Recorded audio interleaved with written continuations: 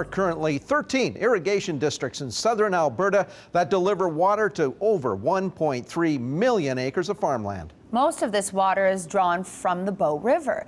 Along with water, fish are also diverted into these irrigation channels. Every fall, Trout Unlimited Canada, along with hundreds of volunteers, captures many of those fish and returns them to the Bow River.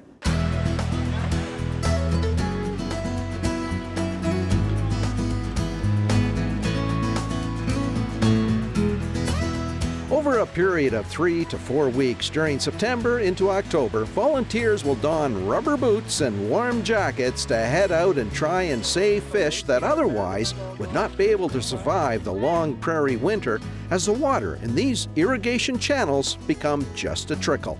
The idea is that fish enter these irrigation canals throughout the summer as they divert water into the canals for agriculture and municipal use. There's no screening device on the canal structures, so fish enter these canals all summer. And they get stranded in here because they can't go back to the river, so they're essentially lost to the system. When the canals get drained in the fall after the irrigation season, the water level drops and any fish that are left in here are essentially gone. With the help of lots of volunteers, we try and catch as many fish as we can from the canals, and then we'll put them back in the river where they can complete their life cycle. The most effective way to capture the fish is by using electrofishing. Basically, a current is sent into the water, stunning the fish, which will allow those volunteers with the dip nets to scoop up the fish and place them into buckets. Another bucket, please. Oh my.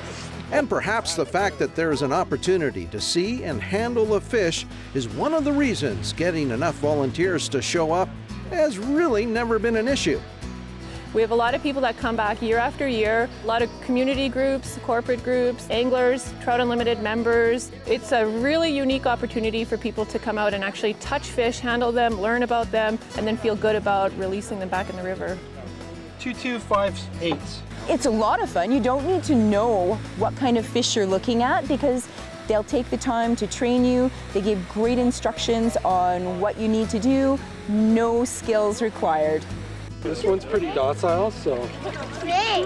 Today's fish rescue is taking place just south of Carsland, where the water is already starting to slow down. And you get the feeling from this young volunteer that there's a sense of urgency to this work. We're trying to take fish from canals because if it gets really too shallow, the water will freeze and the fish will die. So we're trying to take out as many fish as possible and get them back into the rivers or lakes that they are usually in. And when you measure them, we tally them, we record them to see how many they are.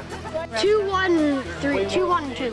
One could also say the day is about education, especially when there are so many kids on hand who may not know the difference between the various species of fish that they are rescuing. This is a mountain sucker.